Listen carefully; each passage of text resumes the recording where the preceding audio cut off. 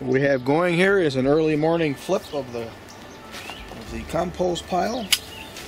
I was going to do it last night, but I almost cut my finger off. So I let it develop a scab first. I was cutting up these parsnips here for the compost and my finger hit underneath some leaves as I was chopping. Didn't see it. Chopped it off.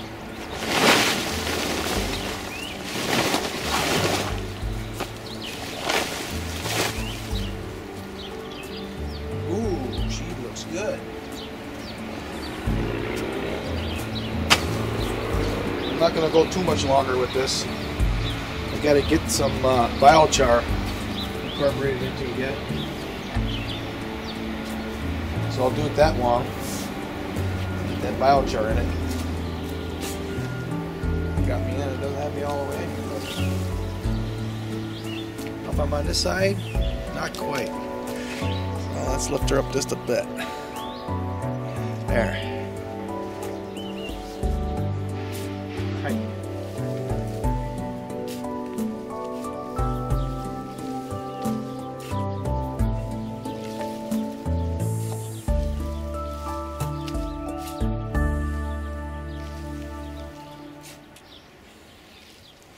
This here, this can I made biochar in.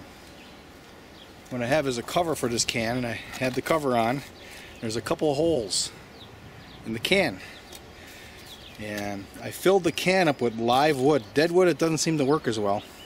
So live wood, live branches from trees. So now you don't have to cut down a tree either. Just take some of the branches and place it in here, put the cover in with the holes on, and you throw it into your wood burner as it's burning you know it's creating heat for your house so you got a double use out of that heat.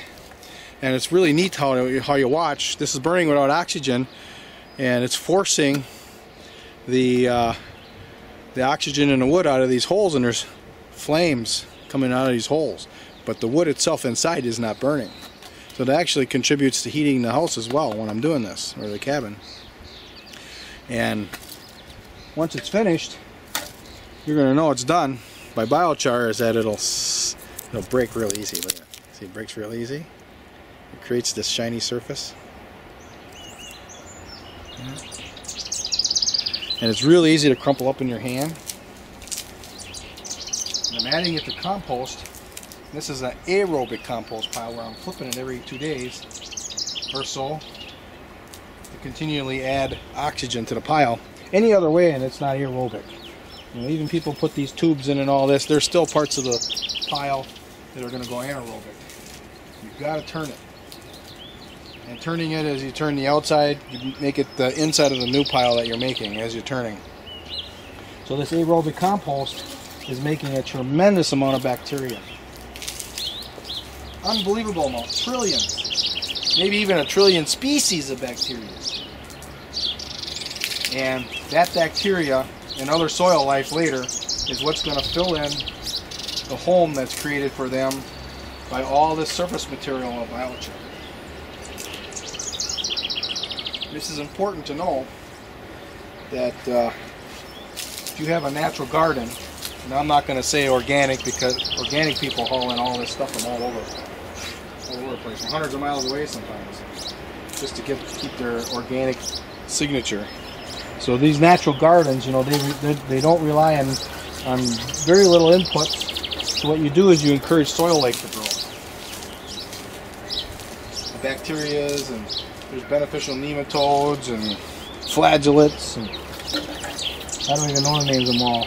I'm not a scientist, but I know there's a lots of different kinds of soil life. And that life is eating and secreting the fertilizer that our plants need to grow. Their dead bodies, after they've done their function, is the fertilizer for our plants.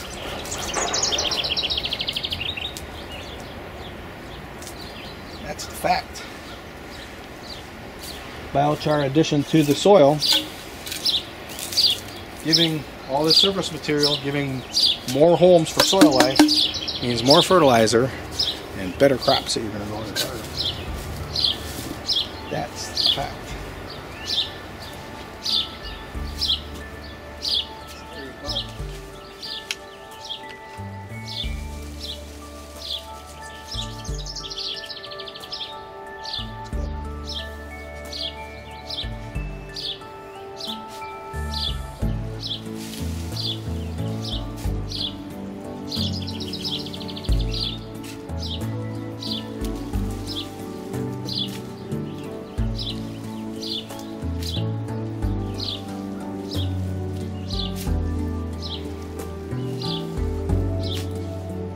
On, lift off.